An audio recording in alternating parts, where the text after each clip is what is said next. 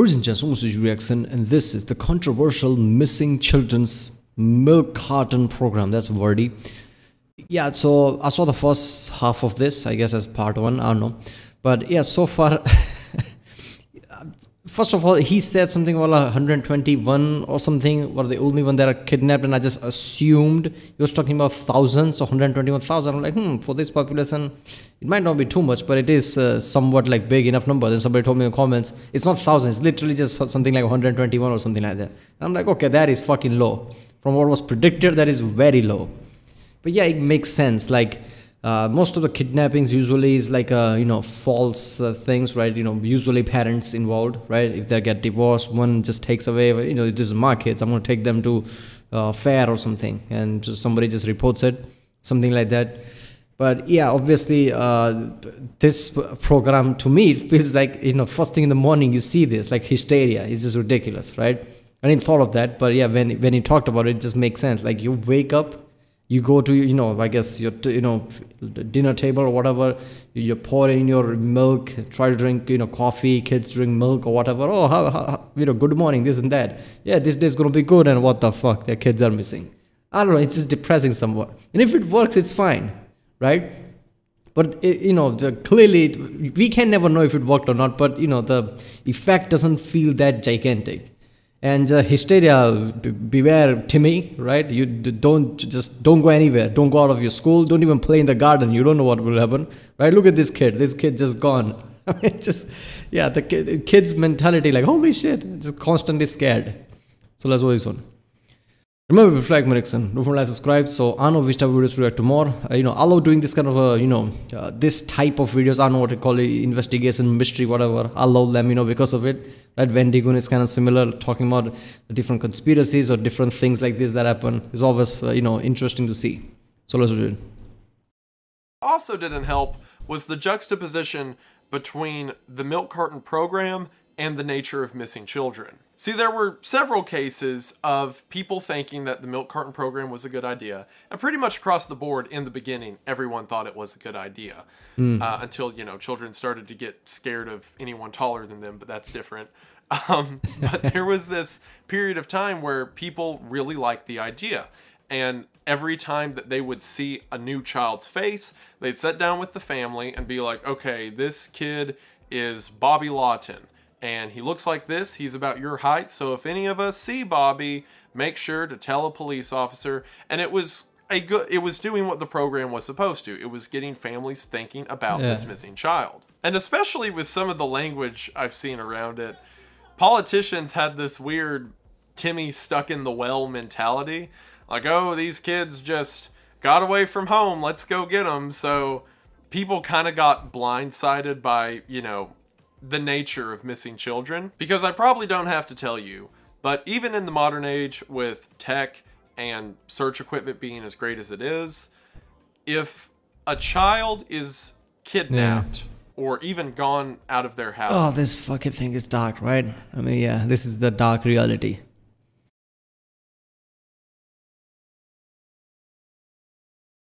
Oh my god. I think you know. Obviously, I don't know exactly, but where I live, I think there's a you know you can report you can't report uh, somebody missing until 24 hours, right? I'm pretty sure that's the case here. You know, I'm not 100% sure of that. I'm pretty sure that uh, is that the case everywhere? Because if that's the case, this chart is already fucked up, right? Because all this is just lowering probability. Like cops won't even look for until 24 hours, and then it's like three percent or so chance. Like, what the fuck? House for more than 48 hours, the chances of finding them alive are not great. As a matter of fact, the majority of child murders happen shortly after the initial abduction. And the time it takes for an investigation where the police are called, they do a search, they file the child as missing, and then a local dairy hears about it, gets a picture of the child, and then puts it out to be printed on their milk cartons and then distributed in stores, not a good time frame. So while mm. near the end of the program, like I mentioned, a lot of the faces on milk cartons weren't really missing children. They were just children who were filed as missing for one reason or the other. Even in the beginning, when it was like these high profile missing children cases, by the time that face got to the dinner table, the chances of that kid being found weren't good. So it created this atmosphere where families would all invest themselves into this child and then either through the news or talking to the police it would be like oh well what happened to old timmy? And the police would be like oh his um his remains were found in the forest outside of town. He'd been there for weeks it seems. Oh god. oh what, what what about little sally? Well it seems that sally was kidnapped by a human trafficking ring and uh, there's really no lead on the killer. She's probably out of the country at this point. Oh and then that guy has to go home. This is this is a time you know not so much information. Remember you know those hat and just like people like oh, honey i'm going to work. Everything's jolly everything bright. It is just one of those like fallout 4 you know uh you know intro type of things those clips. People are in their own bubble. And suddenly oh what about timmy did, did you found it stuck him in a well or something? No no no no. That's just yeah the news is dark grim. It's, oh is that how it is? What about her? No just no they just somebody took her. Let's not talk about it anymore in detail. Like god damn. Darkness of the world is revealed too much in today's world. People didn't used to i mean most of the people didn't used to think that in the past. Because you know uh, unless you're involved somehow right like unless something has happened to you or one of your family member or something like that you're not gonna know what kind of world there is you just live in your bubble you go to your work kids go to school play and whatever damn home and tell his family that. And then another kid shows up on a milk carton, and that cycle continues until everyone's tired of seeing it. So once again, public favor began to fall. And while I've talked about a lot of the problems with the Missing Children Milk Carton program, it wasn't without its success stories either, hmm. including one of the most bizarre, crazy child abduction cases ever, which was that of Bonnie Lohman. When Bonnie was three years old, she was kidnapped from her father by her mother. Bonnie's mother and stepfather spent the next couple years living in Saipan and Hawaii with Bonnie, hoping that they would eventually lose heat from the police as they had just kidnapped a child. Eventually, they moved to Colorado around the time that Bonnie is seven years old. At this point, because again, Bonnie was a kidnapped child, she hadn't been enrolled in school or allowed to talk to really anyone outside of her mother and stepfather. But in Colorado, Bonnie began to make friends with the neighbors next door, and her father even took her out to town on rare occasion. On one of these occasions, they were walking through a grocery store, and Bonnie looked in the dairy aisle to see her own face on a milk carton. Now, since Bonnie was never placed in school, she wasn't able to read and didn't know that just above her face was the word missing. Bonnie was a child and just saw her face on a milk carton and thought it was weird. And in one account I heard from Bonnie, apparently her stepfather introduced the picture to her. Okay, can we take a second and think like, okay, you're not gonna enroll your kid into a school because of whatever your shit, right? Okay, why not teach her yourself how to read? Oh, we're not gonna put her in school, it's too much dangerous, and we're not gonna do anything about it, fuck it. Like, do you even care about your kid at this point? I mean, come on. In, at least you can homeschool somewhat. Like they were walking through the grocery store and he's like, "Oh, would you look at this? Here's your face." Like talk about overconfidence. So the stepfather bought the milk carton cuz Bonnie thought it was neat, and after they finished the milk, he let her cut out her own picture on the side of the milk carton and keep it. So Bonnie would just play with the picture of herself on the milk carton because she thought it was neat. And one day she had left it in a box full of Barbie toys that she had taken over to her friend's house. And after leaving that box at her friend's house, her friend's parents opened it, saw the picture of Bonnie with the word missing above it, called the police. The police came and arrested Bonnie's mother and stepfather and returned Bonnie back to her dad. And that is, at least to my knowledge, the one time that a child's face on the side of a milk carton 100% directly led to the rescue of the child. Yeah. And again, there were other cases of people saying that a child was saved because someone had recognized the picture from a milk carton. But Bonnie's the time that the milk carton did the heavy lifting. Can you imagine the bizarre nature of that? Of seeing your own picture on a milk carton and then getting older and realizing what that meant. Like what a what a bizarre moment in history. Seriously. But again, cases like this were few and far between, and most people continued to build criticism for the campaign as a whole. Another large criticism of the campaign was that the children featured on the side of milk cartons were overwhelmingly white, and normally, whenever a minority child was shown on the side of a milk carton, it was a local program rather than a national program. So, as you could imagine, people didn't take too kindly to that. And it seems That happens a lot. I remember Louis C.K. I think it was Louis C.K.'s uh, comedy bit. He's like, uh, one girl somehow, you know, I guess got lost in a sea or something, and there was search parties for days. An entire team or something but they were minority you know racial minorities basically. I don't know i don't know which group was that was that you know african americans mexican? I don't remember. But they went missing. They just for them uh, like uh, just 24 hours or something. So he just made a uh, just, made the joke like that. Oh can you see that oh they're gone. And that was just a few years ago. As the program went on like i mentioned it went from high profile missing persons cases to just a series of cases where children were reported missing, with a lot of them just being spousal disagreements or runaways. And like with those later cases, the police, the judge, and everyone knows that the parents got into a fight and one of them took the kid for a bit and they're going to go to court and everyone knows where the kid's at. So that person doesn't need random do-gooder stopping them on the street because they saw the kid's face on a milk carton. And a lot of people seem kind of stumped by why the quality uh, that's a weird way to say it the quality why the requirements for missing children kind of dissolved over time but i think there's a pretty easy explanation Yeah. adam garfinkel a historian notes that over the years the government began to offer tax breaks to dairies who would feature kids' faces on the side of them because it was seen as a public service. Which means in the later years of this program, the more kids you show on a milk carton, the more you can get taken off your taxes. So I think I know why they quit caring. It also didn't help that a lot of the poster child cases for the milk carton program did not have happy endings. For example, Etan Patz, the first one who was shown nationally, was never found, and several of the details around the case are very grisly. Uh, initially, there let's be honest let's put it in simplest terms. Ignorance is what people wanted at this point because the results weren't there in. So basic mentality is if this is not helping that much and we don't want to know about all these people that get missing and what happens to them so basically stop this milk carton thing. That's the basic gist of it right because in the end you could argue like doesn't matter if we get result or not even if we can save one person what's the harm right? It's better to post you know put it on the milk carton right? No but the result was we are all getting depressed it's hysteria don't post it. I guess that's the gist of it. I mean you can kind of see that right?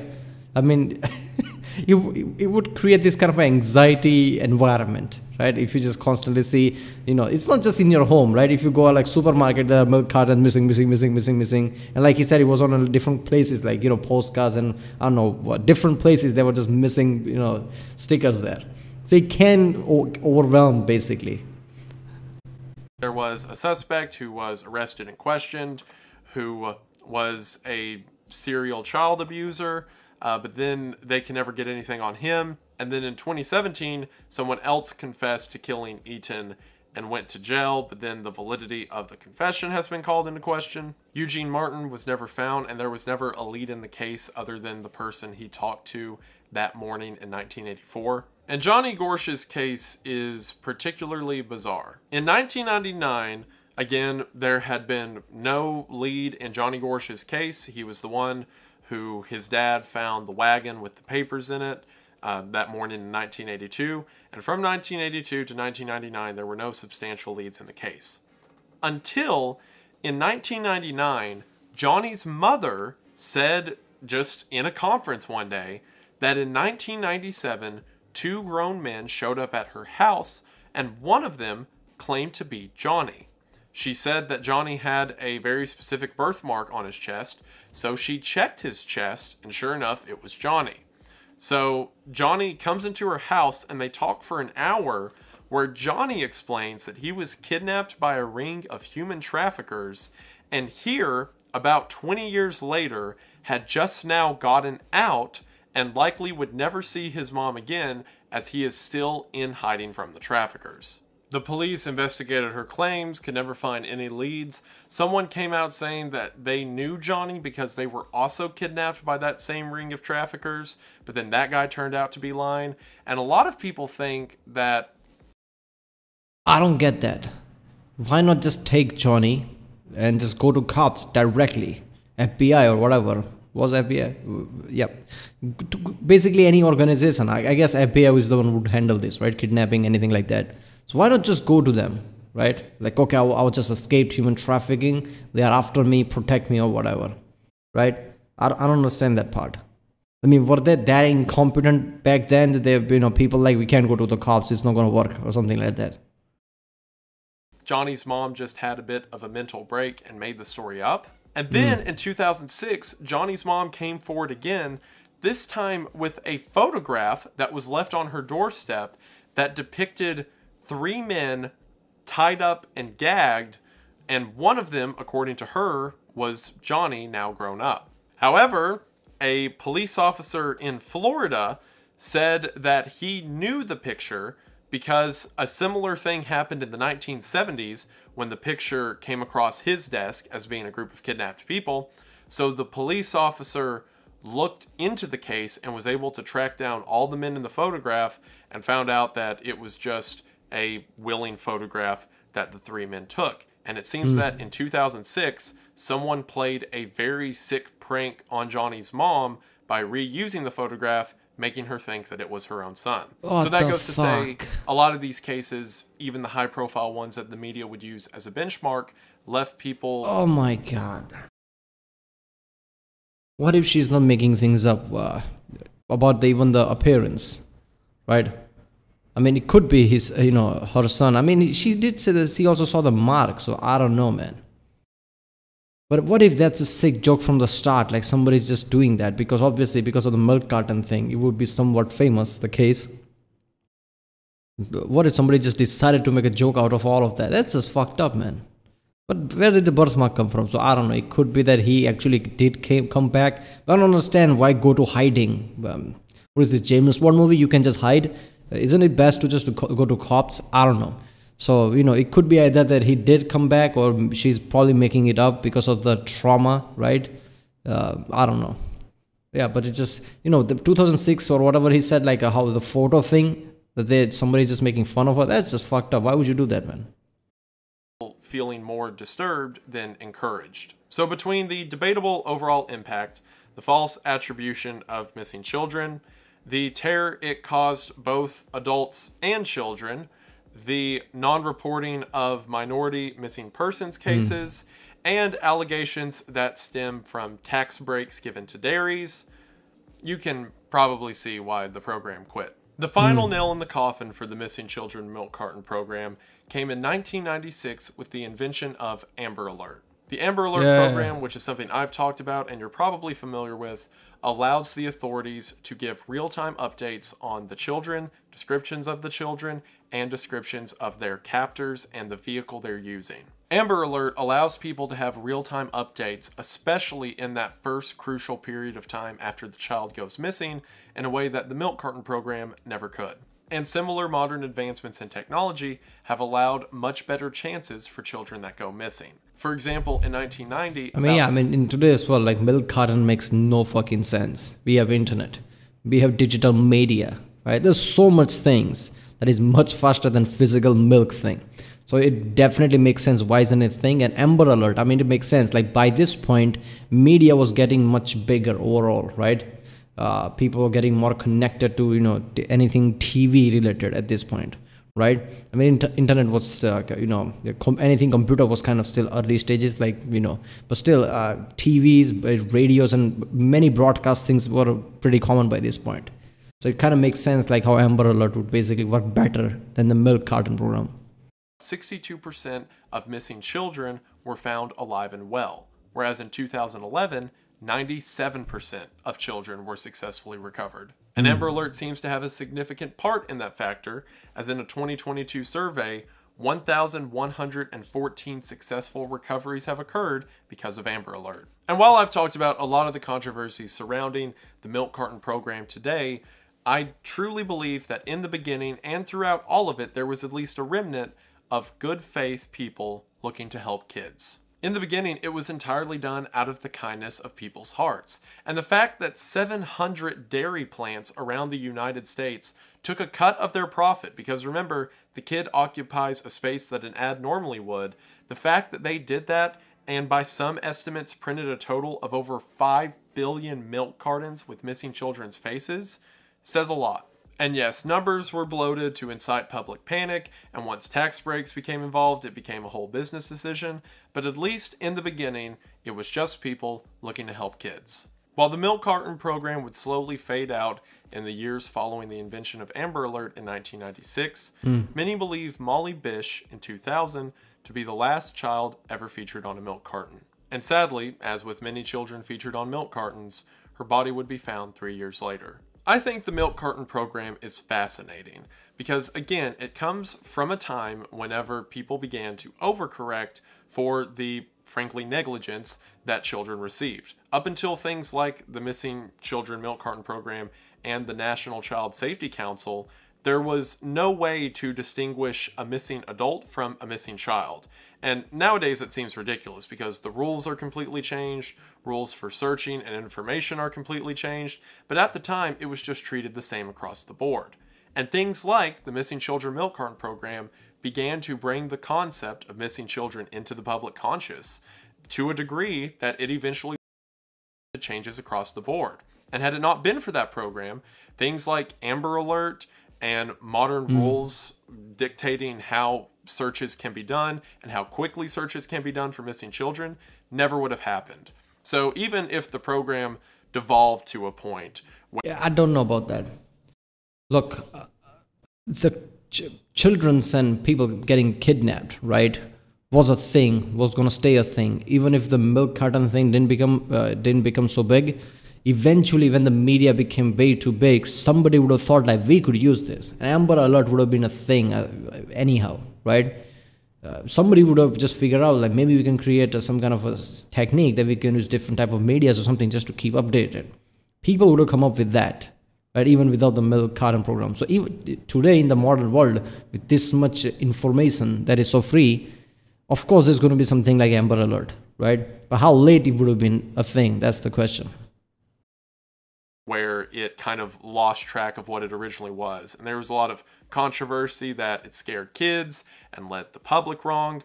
I still think it was an overall good because when I mm. look at figures like 1,114 children saved because of Amber Alert, that number never would have happened if it wasn't for the faces of Eugene Martin and Johnny Gosch showing up on a Des Moines milk carton in 1984 that set all of it in motion. And I also think it's interesting to learn about because there was an entire generation. Yeah, I mean, look, we can never really know how much, how many children got saved because of this program. There is some one or two instances, like you said, that clear cut says that they were saved because of this program. But in the end, this whole thing of recovering kids is what was already, uh, you know, success ratio was already kind of low. So if this program helped even a few kids, it's a success in my view i guess. I get it that it's it can be a bit depressing right? It can show the reality of the world to the people who want to stay ignorant whatever but still it saved some people. And uh, i think amber alert would have been a thing anyway but i think would have been much later than it was. So amber alert got founded pretty you know earlier because of this. So overall this had a good effect. And this was so big that this is like a trope or not trope this is like a a thing, right? You see in movies, TVs are constantly, right? Even Family Guy and South Park make jokes about this. Like, so, you know, just saying that somebody got missing, people show this milk carton because this became that famous. Like, this became a symbol. Like, where is the, you know, talk about missing kids or anything, show the milk carton. That, that's how big this was becoming at the time. Of people who their childhood before school was growing up and looking at the face of a child they probably never knew but now would be ingrained in their mind forever mm. as the missing kid who ate breakfast with them every day. It's such a bizarre and weird moment in history to think about. And again, one that I think was necessary, but almost has this macabre nature whenever we look back on it. And I think it's fascinating. And if you stuck around this long in the video, Hopefully, you think it's fascinating too. And see, I told you it would be depressing. And even if it was depressing, I'm still glad you're here and stuck around this long, and it means the most to me. And I just want to say thank you for watching. Thank you all so much for sticking around. This is a weird topic, I know, but I guess that's kind of like the, you know, tagline for the channel at this point, just weird stuff. Um, I was watching a YouTube video where someone was talking about old cartoons and how they used to make jokes out of people on milk cartons. And I was like, I bet there's some weird history to that. And sure enough, I start researching and find all these, uh, like Yeah. the tax break stuff and people complaining that um, it was scaring kids and all of that. And uh, I, I was like, aha, I was right. There is weird stuff. So I had to immediately tell you all. so hopefully you enjoyed the video. Uh, It's something I don't think gets talked about a lot. There's a few other YouTube videos I watched on the topic that were pretty good. Uh, but I wanted to bring it to you guys, and hopefully you enjoyed it. Uh, but yeah, I, th- I All right. So there we go. This was a good topic, I guess, for him to cover because uh, nobody talks about it. This has become just a thing. Like I said, you know, like you know, cartoons and anybody just makes jokes about it because it be, something has to be too famous for people to make jokes like that, right? And so yeah, uh, uh, this is the first video I come across who actually talks about this topic, like how it started, why it went away, what effect of, of it was, and yeah. Uh, like you said, Amber Alert became a thing when it did, probably because of this milk carton thing. Uh, you know, it probably saved a few lives. We can never really quantify. I mean, we can't directly track, like, you know, uh, the milk carton program had effect, otherwise this kid would have never been found. We can't really know that. That's the point with awareness. You can never know if awareness helped anything, right? But you just have to hope that you know, probably did, right? I mean, even if it helped like one or two people, it was still a success. And you know, like he said, there are instances where clearly, without this program, a kid would never have been found. So yeah, this program is somewhat success. Alright, well, if you like my Dixon, don't forget to subscribe, and yeah, I'll see you next time.